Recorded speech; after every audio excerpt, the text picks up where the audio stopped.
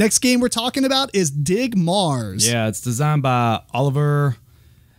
Oh, I got a three on this one. Uh, partly because of my handwriting. Let's try it again.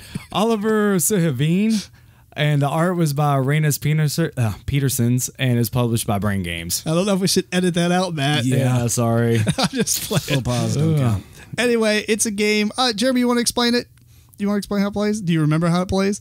It plays exactly like the Flash game, if I remember correctly. The what? The Flash game. There's a flash game. There's a Flash game where you do nothing but dig, dig, dig. It's pull up the web page and you do it for hours. Oh, gotcha. that flash game. Oh, okay. I, Gotcha. I thought you meant the Flash. Yeah. Oh no, not the Flash. Well, anyway, go ahead. Adobe. Do you want? Do you want? Adobe Flash. I'll take it. I don't take it on because I don't remember enough about it. Fair enough. All right, so you put all these tiles in the middle of the table. It's a grid. I think it's like four by four or something like that. Each one has three tiles in the stack. Each player gets some equipment tiles that you put a marker on each one, and it signifies your your abilities basically on a level of one, two, three, or four. So one is movement, or uh, was it movement? One was move. Yeah, one was move, and it could be one, two, or three, or four. Another one was um, maybe it wasn't movement. No, I think It was move, but dig and carry, and how many pieces you got. That's what it was. So dig, pieces. Yes. dig. You can dig a level one, two, three, or four tile. Each tile is either one, two, three, or four. You can um, carry one, two, three, or four. Which the the when you flip the tiles over because they're face down, if the carry level is a certain amount, you know you may not be able to carry it. And then the last thing is how many guys you have on the map. One, two, three, or four. And basically, the whole point of the game is you get so many actions on your turn. It's like three or something, and you can move your guys around.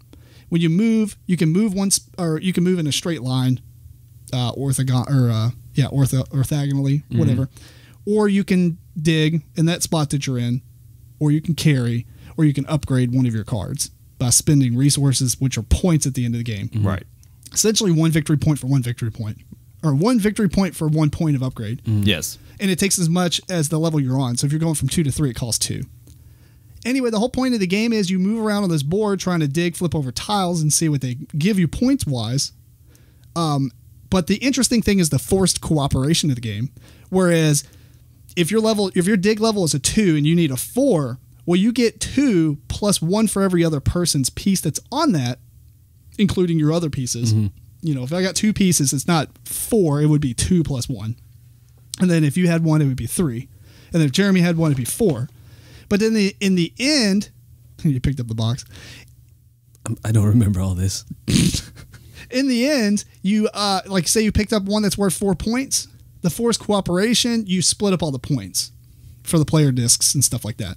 And you keep going until somebody reaches a score that's defined by the amount of players you're playing, or all the tiles have flipped over and been cashed in, and then then wh- whoever has the most points win.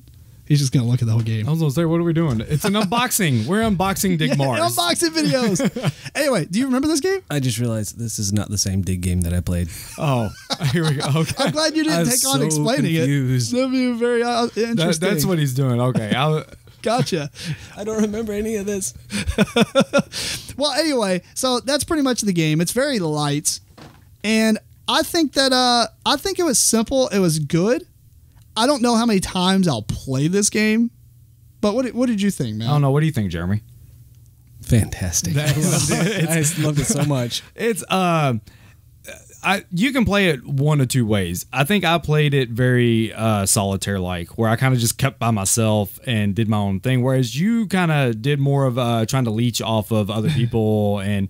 Because you could just hop onto space if it looked like they were about to do a flip and carry, sorry, dig and carry, then you would just like hop on a space and you you're going to get something for it. Yeah, and if it's worth three and it's me and you, you get two, I get one, Right. Because you get the leftover. But yeah, you're right. I mean, there is a couple different strategies. You can upgrade your your your dig power, so and get on spaces where you can dig the heavy stuff and carry it, mm-hmm. or you can do like me and just upgrade how many people you got and just run around everywhere. Right. And I mean, I, I've pretty much the same way you said. I don't know that I'd really care to play it anymore or many more times. I mean, uh, it's just, it didn't really do a whole lot for me. Yeah, I probably played a few more times and then maybe play with other groups and stuff. But as far as the game, like I think it was it was interesting. It was neat, but not as meaty as I would like the game to be. Right. But certain people, certain families and stuff might actually kind of think it's pretty neat. Mm-hmm. I, and even if you stay away from doing the uh, forced cooperation part of it, you know, if you don't really go for that and you kind of go off, everybody's going off on their own, then it just becomes a race. Right. But it's kind of calculated because you know what tiles you're going after two or three or four or one, whatever.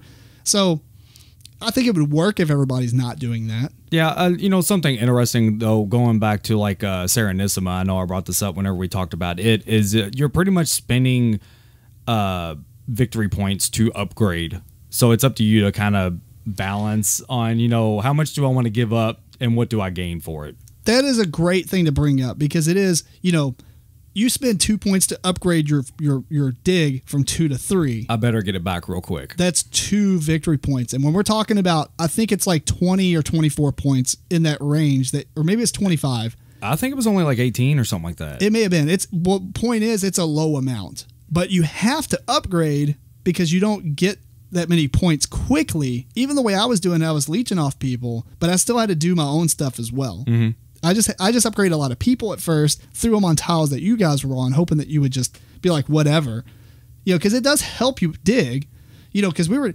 If you dig and you had a couple other pieces there, you may not have had the dig capacity to get it anyway. right. And so having other people on that same tile allows you to dig it, but you're just splitting it with everybody. Mm-hmm. So, and they had some special abilities when you flip up the tiles. Oh, right. Like when you flip it up, it might give you a free action of a different type or whatever, or one of the types, and or you might be able to relocate somebody's piece. So it was kind of fun to have like a couple people in one spot and be like, I'm gonna dig it anyway, and if if it comes up and I can move you, I'm moving you. Right. You can throw them off to another spot.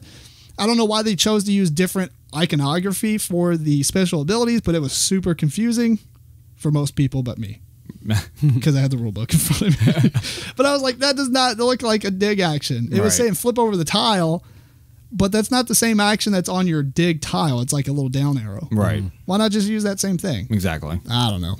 But I don't know. It was um yeah, it was all right. Yeah.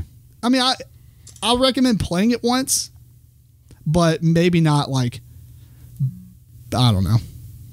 Jeremy, does it sound interesting to you at all? A little bit. We'll play it with you. I got sidetracked because I was trying to remember the name of that game and I couldn't find it. Oh, fair enough.